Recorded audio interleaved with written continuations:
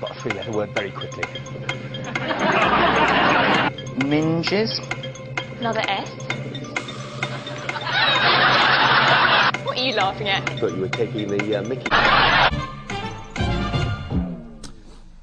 Now then, Gino. Seven. Seven again, and Lawrence. Seven. Seven. Let's say Lawrence is seven, please. Not sure if I dare say this one. Seven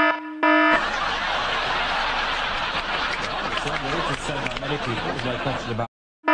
Let's see if that's got in the dictionary. Gino. The Peter one. Where was that?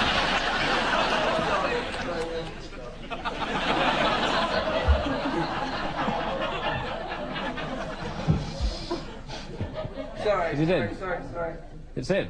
Oh, it's in. They anticipated my next line. What is Richard Whiteley doing asking for a definition? I can't resist, sorry. That stays in. I agree, it stays in that.